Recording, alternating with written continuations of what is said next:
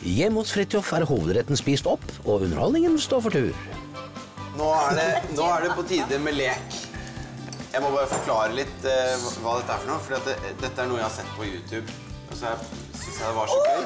Ja, jeg har sett det! Har du sett, vet du hva det er? Av bestefaren. Ja! Skjønte du hva det var, Synnøve? Skjønte ingenting av dette apparaturet. Nei.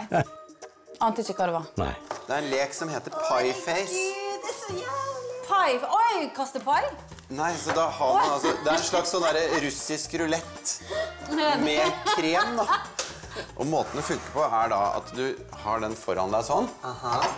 Ned på bordet, og så må du få ansiktet gjennom det hullet der. Er. Skal den smashe i trynet mitt? Ja, snart. Men skal han svare på noe? Eller Sånn. nei, det er bare å- du får det Nei, og så skal du, før du gjør dette Dette er jo gøy allerede. Før det, så snurrer du på den, og det er hvor mange ganger? Du skal vri på den. Ja, fordi du, du vrir disse her framover. Er det russisk rulett? Det er russisk rulett. Ja. Skjønner ikke feil. Hvorfor skulle ikke- skulle ikke hånda Nei, det er den, det er den veien. Oi, det Nei, to ganger. To ganger. Og så ja, okay. vrir du det framover. er det. Jeg må tisse! Det er klart! Han overlevde! Ok, da er det deg, Synnøve. Dere skjønner at jeg får den nå. Ja, snurr. Nei, du, Er det jeg du må som skal- snurre. To. Dere har flaks, da. Åh.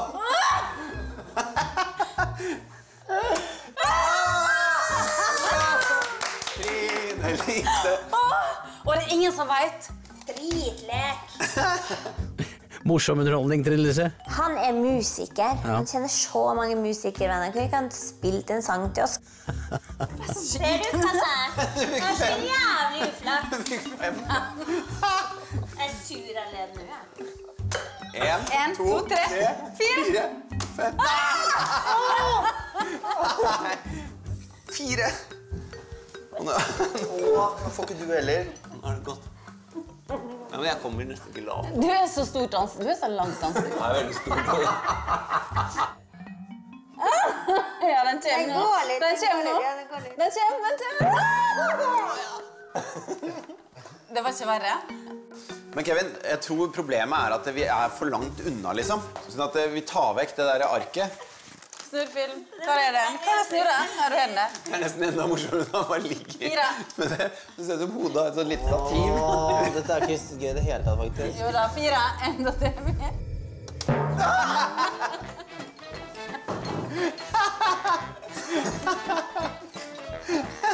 Ja, var det moro, Trine Eller? Ja, men Kevin så ut som han aldri hadde fått noe i trynet før, og det er jo helt absurd.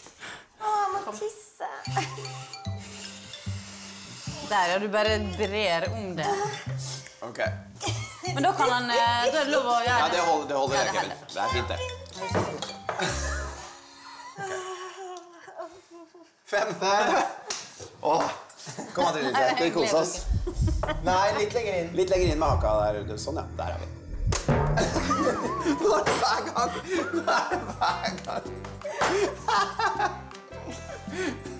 Var det en gøyal underholdning, Kevin? Jeg syns det var ja, Det ble gøy, for det, ble så god, det var så god stemning rundt bordet at det ble gøyere enn jeg trodde. Ja.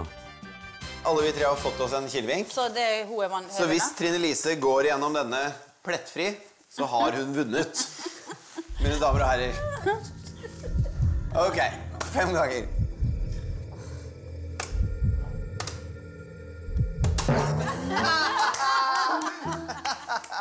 Kjempegøy. Det ble artig, altså. Men det var ikke ekkelt, sant? Eller det var deilig kaldt og Du er kanskje vant til å få noe i ansiktet, det er ikke jeg. Oh.